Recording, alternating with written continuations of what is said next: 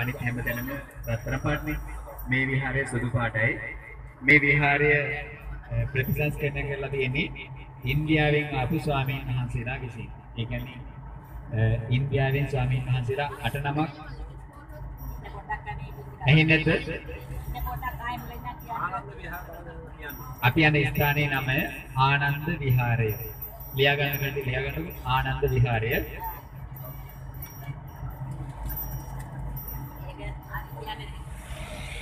බෑගෑන් වල තියෙන අ, සුදු පාටින් යුක්ත ලස්සනම විහාරය තමයි ආනන්ද විහාරය කියන්නේ. සුදු පාටින් යුක්ත විහාරය තමයි ආනන්ද විහාරය කියලා කියන්නේ. මේ විහාරය අ, මීට කලින් ජරාවාස අපවිත්‍ර වෙලා තිබුණු විහාරයක් ඒක. ඉන්දියාවෙන් ස්වාමීන් වහන්සේලා මේ රටට වැඩම කරාට පස්සේ අ, ස්වාමීන් වහන්සේලා අට නමක් වැඩම කරලා තියෙනවා අ, මේ භූමි ප්‍රදේශයේ. භූමි ප්‍රදේශයේ අ, ආනන්ද විහාරයෙන් වැඩම කරලා එතන තියෙනවා නන්ද මුනි ගුහාව කියලා ගුහාවක්. අපි ඒ ස්ථානට යන්නේ නැහැ. ඒක දැන් ඔක්කොම මේ මේ පස්වෙනි බැහිටා කියපු ස්ථානයක් නන්ද මුනි විහාරය කියන්නේ ගුහාව කියන තැන. ඒ ස්ථානේ තමයි නතරලා තියෙන්නේ. නතර වෙලා මේ පන්සල ආනන්ද විහාරය සුදු පවිත්‍ර කරලා බැතිමතුන්ට වන්දනාමාන කරන්න සුදුසු විහාරයක් බවට පත් කරලා තියෙන්නේ ඉන්දියාවෙන් වැඩම කරන ලද ස්වාමීන් වහන්සේලා විසින්.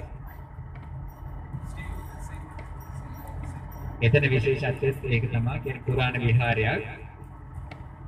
අපේ ඉන්දියාවේ වැඩම කර වැඩම කරන ලද ස්වාමීන් වහන්සේලා විසින් සුද්ධ පවිත්‍ර කරලා බැතිමතුන්ට වන්දනාමාන කිරීම සඳහා සුදුසු පරිසරයක් බවට පත් කරපු විහාරයක් තමයි නන්ද ආනන්ද විහාරය කියන ස්ථානය.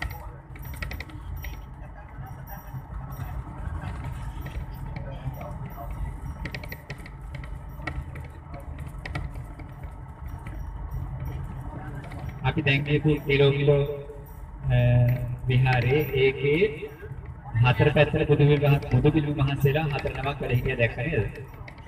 ඒ හතර නමම සමාධිපත්තියෙන් වැඩ හිටින පිළිම මහන්සියලා හතර නමක් තමයි තිබුණේ.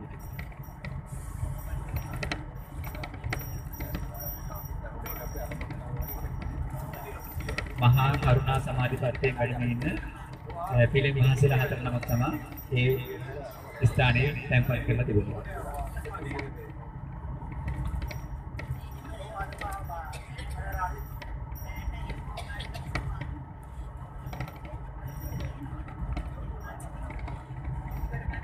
ඔය වටපිට බලන්න දිගටම තියෙන්නේ චෛත්‍ය සහ මාලිගා කොටස්.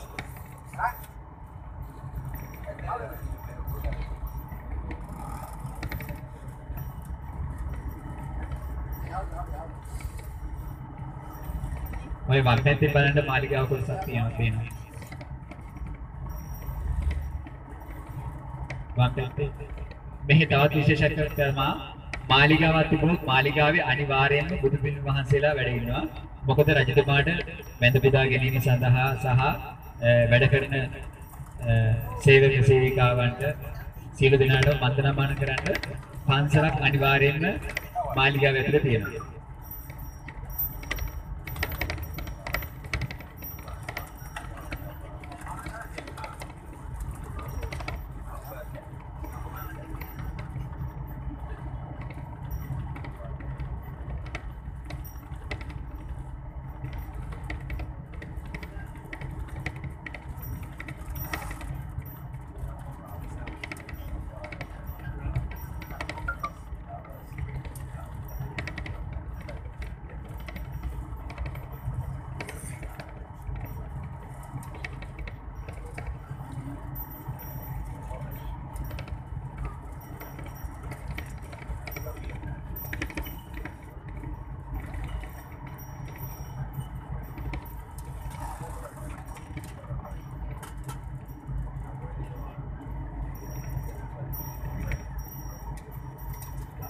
ඔන්න දකුණු පැත්තෙන් දැන් පේනවා නටබුන් කොටස්.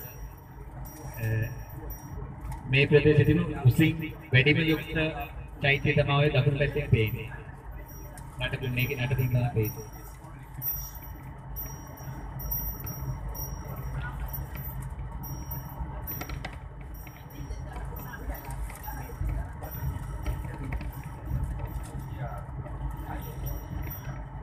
ඔය දකුණු පැත්තේ පේන චෛත්‍ය නම පැපෙන් කියු. පැපෙන් කියු ඒ කියන්නේ බැගෑන් වල තියෙන උසම අ, චෛත්‍යය.